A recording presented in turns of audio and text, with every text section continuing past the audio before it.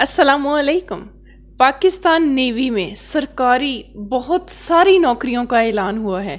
All over Pakistan, आपका ताल्लुक चाहे पाकिस्तान के किसी भी सूबे, किसी भी शहर से है, आप इसके ऊपर अप्लाई कर सकते हैं। अगर आप सिंध से हैं, पंजाब से हैं, खैबर पख्तूनख्वा, बलोचिस्तान, कश्मीर, आप कहीं से भी हैं, सिंध रूरल से हैं, सिंध अर्बन से हैं, कराची से हैं सबके कोटे यहाँ पर मौजूद हैं। आप इसके ऊपर अप्लाई कर सकते हैं। अगर आपकी तालीम प्राइमरी भी है, तब भी आप इस पर अप्लाई कर सकते हैं। पाकिस्तान नेवी सबकी मन पसंद है। इस पर जाने की सब लोग ख्वाहिश करते हैं और इस दफ़ा पाकिस्तान नेवी पाकिस्तानियों पर बहुत मेहरबान हुई है और बहुत सारी सीटों का इन्होंने ऐलान कर दिया है। तो आ, मैं आपको हर वीडियो में क्योंकि अप्लाई करने का मुकम्मल तरीका बताती हूँ मैं इस वीडियो में भी आपको अप्लाई करने का ए टू जी मुकम्मल तरीका बताऊँगी। और अगर आपने अभी तक मेरी वीडियो को लाइक नहीं किया तो लाइक कर लें और चैनल को भी सब्सक्राइब कर लें। मैं हूँ सनम दिलशाद और रोज़ाना बेसिस पर जो गवर्नमेंट जॉब्स मैं आप लोगों को बताती हूँ और उसमें उसकी एक एक चीज़ भी समझाती हूँ कि कौन किस जॉब पर अप्लाई कर सकता है। तो इस जॉब में भी मैं बताऊँगी। एंड तक देखिएगा वीडियो स्किप नहीं करनी। मेरे साथ बने रहिएगा। इन आपको अप्लाई करने में कोई मसला नहीं आएगा। क्योंकि इसका ऑनलाइन अप्लाई होना है, इसलिए वीडियो स्किप नहीं करनी स्टेप्स मिस नहीं करने। और आपने ये चीज़ तवज्जो से देख लेनी है कि किस जॉब पर कौन अप्लाई कर सकता है। तो हम इसको वन बाय वन इसको देख भी लेते हैं। इसमें जो सीटें आई हैं, मज़े की बात यह है कि इसमें सिर्फ़ एक दो सीट नहीं है कि बस चार पाँच सीटें हों, जैसे कोई असिस्टेंट है। इसमें बहुत ज़्यादा कैटेगरीज़ में सीटें हैं कि मैं कहती हूँ, पाकिस्तान का कोई भी शहरी है ना, इसमें से एक ना एक कैटेगरी के अंदर तो फॉल करता ही होगा। हम इनको वन बाय वन फटाफट से डिस्कस कर लेते हैं, क्योंकि ये काफ़ी ज़्यादा है और सबके बारे में बताना जब तक डिटेल में नहीं बताऊँगी, आप लोगों को फिर समझ नहीं आती। तो हम इसको जो है जो ऐसा सारा डिस्कस कर लेते हैं और मैं मेरी बहनों को भी बताऊँगी कि आप लोगों ने किसमें अप्लाई करना है। फिर मैं आपको ये भी बताती हूँ, उसका टेस्ट और क्या क्या आगे आगे प्रोसीजर है। चलें जी, पहले हम वन बाय वन इनको डिस्कस कर लेते हैं। सबसे पहले इसमें असिस्टेंट है। अगर आपने इसमें पंजाब का भी बलूचिस्तान का टोटल बारह सीटें हैं अच्छा हर एक पोस्ट पे अलग कोटा है। ये आपने अब कोटा इसकी एडवर्टाइजमेंट में देख लेना है, मैं इसकी डिस्क्रिप्शन में भी लगा दूँगी। ठीक हो गया, जैसे असिस्टेंट है। असिस्टेंट में पंजाब की छः सीटें हैं, ख़वातीन की तीन हैं, बलूचिस्तान की एक बलूचिस्तान की एक है और टोटल बारह सीटें हैं। अगर आपने B A simple B A किया हुआ या बी एस सी या बी कॉम या कुछ भी, ठीक है ना ग्रेजुएशन डिग्री आपके पास मौजूद है ना तो आप मेरी बहनों ने, मेरे भाइयों ने असिस्टेंट पे करना है। मोस्ट प्रोबेबली इसमें मेरी बहनों ने अप्लाई करना है। ठीक हो गया। और इसमें उम्र की हद जो है तैतीस साल तक की मेरी बहनें इसमें अप्लाई कर सकती हैं। अठारह से तैतीस साल मेल और फीमेल खैर दोनों हैं, लेकिन बहनों को इसलिए बता देती हूँ कि उन्हें मसला होता है कि जी आप हमें स्पेशली अलग से भी बता दिया करें कि हम किसमें अप्लाई करें। वीडियो थोड़ी लंबी हो जाए तो बच्चों शोर नहीं डालना, क्योंकि ये इसमें काफ़ी सीटें और वो बतानी डिटेल ज़रूरी है। उसके बाद इसमें अगली सीट जो है डाटा एंट्री ऑपरेटर की है। इसमें भी आपके पास अगर बैचलर डिग्री है फिज़िक्स में मैथ में और इकनॉमिक्स में तो आप इसके ऊपर अप्लाई कर सकते हैं।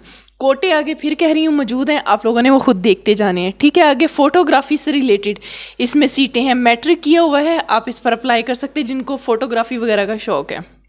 उसके बाद इसमें U D C L D C ये जो पोस्टें हैं ना, और टेलीफोन ऑपरेटर है इसमें इसमें मेरी बहनों ने भी अप्लाई करना है, ठीक है?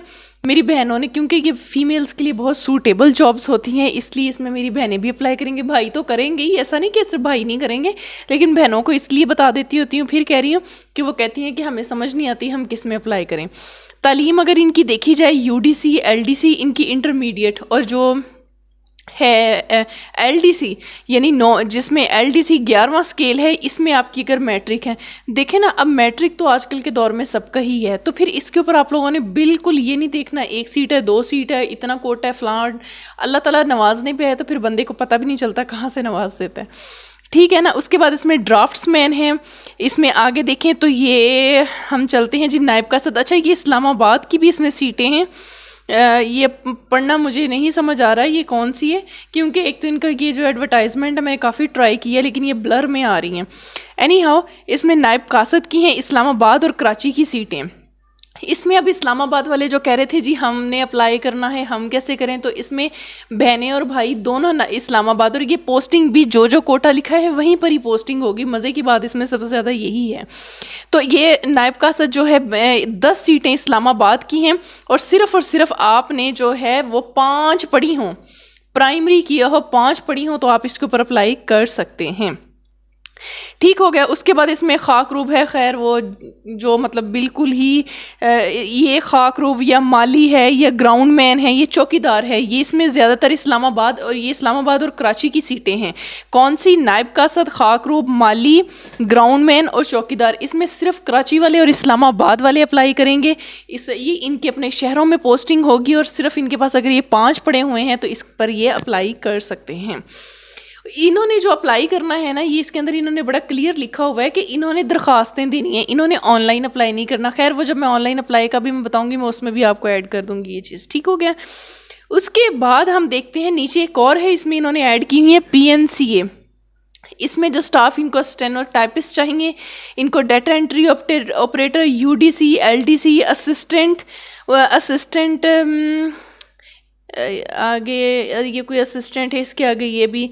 अभी क्योंकि कुछ ड्राफ्ट मैंस हैं, इसमें कुछ असिस्टेंट स्टोर कीपर हैं लेडी हेल्थ विजिटर हैं लाइब्रेरियन हैं जूनियर उसके बाद ये रिसेप्शनिस्ट हैं स्टोर मैन हैं, उसके बाद ड्राफ्ट मैन है। फिर इसमें इंजन ड्राइवर है, पुलिस कांस्टेबल। जी जी, इसमें पुलिस कांस्टेबल और इसमें मेरिट कितने हैं जी? अट्ठाईस हैं। अकलीत के भी इसमें अप्लाई करेंगे दो। कराची और लाहौर डिवीज़न के डोमिसाइल रखने वालों को तरजीह दी जाएगी। ये देखें जी, जिनके पास कराची और लाहौर का डोमिसाइल है ना, वो पुलिस कांस्टेबल पे भी अप्लाई कर सकते हैं। भाई, इसको नहीं छोड़ना किसी ने। ये बड़ी अहम है। उसके बाद इसमें जूनियर टाइम टाइम कीपर उसके बाद इसमें जी अच्छा जी, खादम मस्जिद, जो कुरान पाक के हाफिज़ हैं। हाफ़ कुरान के लिए भी इसमें अब सीटें देखें जी, ये मौजूद हैं। जो हाफ़ कुरान हैं। ठीक है जी बाकी वो दूसरी हैं उनका मुझे सही तरह से आइडिया नहीं लेकिन उसमें उन्होंने तजर्बा भी मांगा हुआ है। खैर इसकी रजिस्ट्रेशन जो है वो सताईस अगस्त से दस सितंबर तक आप अप्लाई कर सकते हैं। आपके आ, मतलब इसमें जो रिक्रूटमेंट होगी जो बच्चे कहते हैं जी हमारे टेस्ट कहाँ हो कौन से हमारे सेंटर बनेंगे? तो इसमें जो शहर इन्होंने शामिल किए हैं हैदराबाद है, इसमें खुशदार है डेरा इस्माइल ख़ान, रावलपिंडी रहीम यार ख़ान, सखर सवात सियालकोट, मुजफ्फराबाद, मुल्तान, लाहौर, गवादर, गिलगत, कोयटा, खारियाँ, कराची, फैसलाबाद, शहीद बेनज़ीराबाद। ठीक हो गया, ये इनके सेंटर्स हैं सारे और ये इसमें आप लोगों की, इन्हीं सेंटर्स में फिर आप अपने हिसाब से देख लेंगे कि आप कहाँ पर जाके टेस्ट दे सकते हैं। चलें जी अब हम जल्दी जल्दी ऑनलाइन अप्लाई करते हैं। इससे पहले वीडियो हमारी लंबी हो जाए। आ जाएँ जी। जी। ये देखें जी, ये नेवी की मैंने ऑफिशियल जो वेबसाइट है, उसे ओपन किया हुआ है। और हम अल्लाह का करम, हिम्मत का इलम, मौजों पर कदम। वेलकम टू पाकिस्तान नेवी ये इसकी ऑफिशियल वेबसाइट है, इस पे ही हम अप्लाई करेंगे। कोई, इसका मतलब जब ऑफिशियल वेबसाइट पे कोई भी अपलोड हो जाती है, इसका मतलब ये होता है कि ये ओरिजिनल है जेनवन है, इसमें कोई भी ऐसी फेकनेस नहीं है। तो चलें जी, मैं आपको इसका अप्लाई करने का तरीका भी बताती हूँ। इसमें आप ये नीचे आएँगे, इस वेबसाइट का लिंक जो है वो मैं नीचे डिस्क्रिप्शन में दे दूँगी। अब हमने, क्योंकि ये सिविलियंस की आई हैं, हम सिविलियंस पे देखेंगे और यहाँ पर रजिस्ट्रेशन नाव पे क्लिक करेंगे। इसके साथ मैं आपको एक चीज़ बताती जाऊँ एडवर्टाइजमेंट में। जो नायब का सद है खाकरूब है और इसके साथ ये जो है माली है। और इसमें एक ये बुक बाइंडर है। इनका ऑनलाइन अप्लाई नहीं होना, ये लोग दरख्वास्तें भेजेंगे। दरख्वास्तें जिस तरह से मैंने आपको दरख्वास्त लिखने का तरीका बताया, सारे कागजात वगैरह हैं, वो सारे बजरिया डाक दरख्वास्तें दर्जा झैल बाला भर्ती दफातर में अरसाल करवाएँ। तमाम असामियों का इंटरव्यू लिया जाएगा। इनका सिर्फ़ टेस्ट नहीं होगा। बाकी सबने, सब लोगों ने जिसमें भी अप्लाई करना है, वो क्या करेंगे? अप्लाई ऑनलाइन अप्लाई करेंगे। तो ऑनलाइन अप्लाई करने के लिए मैंने ये देखें जी, मैंने ये सिविलियंस और रजिस्टर नाव पे क्लिक किया। ठीक है? जैसे ही आप इस पर क्लिक करते हैं, ये अभी ओपन हो जाती है। चलें, तब तक हम इसको और ये देखें जी, इसकी आखिरी तारीख दो अप्रैल तक इसकी आप रजिस्ट्रेशन करवा सकते हैं। सिर्फ़ पाकिस्तानी शहरीत के शहरीत के हामिल अफराद के लिए मेल, फ़ीमेल सबकी सीटें हैं। खुल जा भाई। जी, ये देखें ये हमारे पास रजिस्ट्रेशन फॉर्म खुल गए। यहाँ से आप civilian batch A twenty twenty four आप सेलेक्ट कर लेंगे। आप अपनी ब्रांच सेलेक्ट कर लेंगे कि आप किसमें अप्लाई करना चाहते हैं U D C L D C draft में। देखिए इनके ना असिस्टेंट सारे इसमें से आप अपनी पोस्ट सेलेक्ट कर लेंगे। उसके बाद P N R S C ये क्या है? अच्छा ठीक है। यहाँ से आप अपना वो सेलेक्ट कर लेंगे कि आपका कौन से वाला वो बनता है।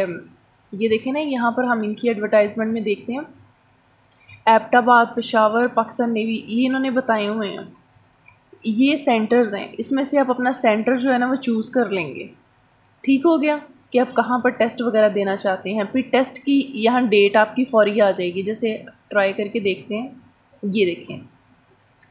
ये भी आ गई, अठारह भी आ गई, उन्नीस भी आ गई। आप इसमें से एक ख़ुद सेलेक्ट कर लेंगे कि इस तारीख को जो है ना, मैं टेस्ट देने को तैयार हूँ। ये देखें, अगर मैं पंद्रह नौ कह रही हूँ ना तो फिर उसने कहा कि ठीक है, फिर आठ बजे आपने टेस्ट पे पहुँचना है। अगर मैं कहती हूँ कि नहीं, मैंने अठारह को आना है तो ये देखें, आठ भी है, दस भी है, साढ़े ग्यारह, जो टाइम आप सेलेक्ट करेंगे, आपने उसे याद रखना है और उसी में ही आपकी टेस्ट टाइमिंग वगैरह सारी आपकी आ जाएगी। ठीक हो गया? यानी इसमें हमें पहले से ही पता होगा कि हमारा पेपर कब होना है। सबकी मुख्तलिफ़ डेट्स हैं, जैसे मैं कहती हूँ मुल्तान।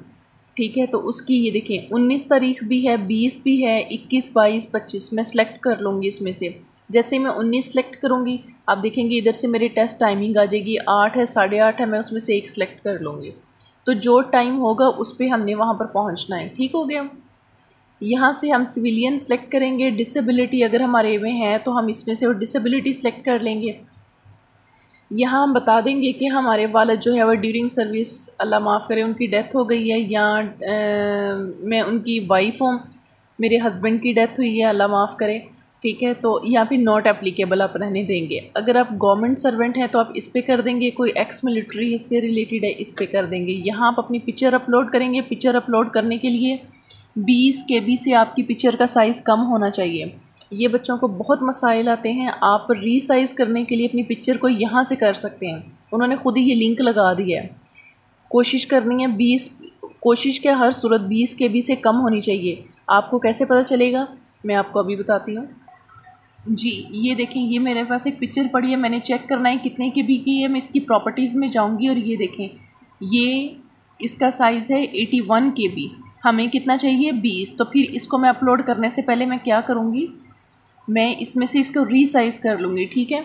उसके बाद आप अपने अपना नाम लिखना है कैंडिडेट का C N A C father name C N A C gender लिख देंगे मटेरियल स्टेटस यानी आप मैरिड हैं सिंगल हैं रिलीजियस अपना लिखेंगे प्रोविंस डोमिसाइल ये सारी सिंपल सिंपल चीज़ें हैं।